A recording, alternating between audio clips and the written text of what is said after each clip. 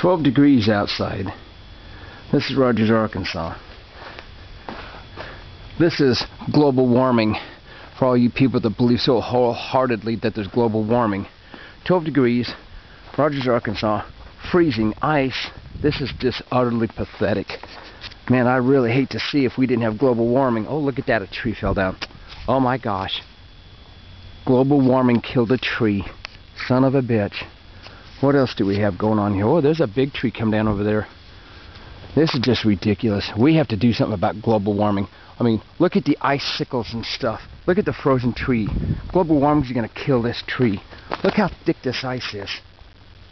That's pathetic.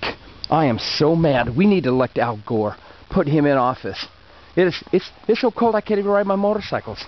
This is just pathetic. Global warming. Oh, look at that. Global warming killed deer. Look, dead deer. Global warming kills. Don't forget global warming. It kills. It's so hot here. This, but this is just terrible.